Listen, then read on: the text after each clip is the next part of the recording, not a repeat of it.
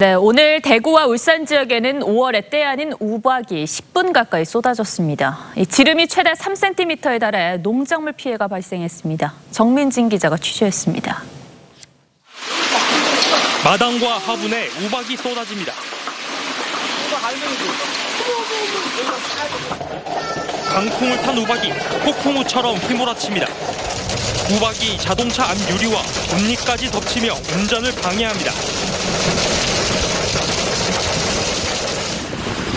오늘 낮 3시쯤 대구 일부 지역에 10분 가까이 우박이 쏟아졌습니다. 큰 것은 지름이 3cm에 이릅니다. 천둥번개에 기습폭우도 내려 일부 도로는 한때 침수됐습니다. 경북에서는 자두와 사과 열매가 우박에 맞아 상했습니다. 현재까지 축구장 270개 면적에서 우박 피해를 입었다는 신고가 접수됐습니다. 열매의 피해를 뭐 많이 입죠. 떨어지거나 아니면 뭐 기스 나버리거나 이렇게 되니까 뭐 상품성이 다 없어지는 거죠.